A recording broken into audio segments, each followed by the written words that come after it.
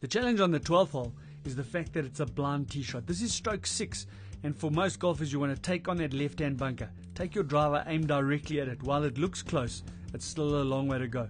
If you get yourself into that position, you've got a chance to go for this green. It's well protected down the right hand side, and getting in the water is not an option.